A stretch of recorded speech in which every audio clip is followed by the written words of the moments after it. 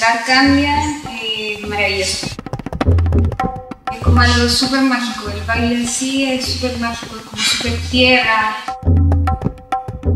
Bueno, yo crecí bailando, bailé hasta como los 25 años y a fin de año me encontré muy amargada y dije, debo volver a lo que más me gusta, que es bailar, y llegué acá. El cuerpo se trabaja tanto como con el ballet. Cómo uno va conectando con la tierra al mismo tiempo que está trabajando energías más sutiles en la parte superior del cuerpo.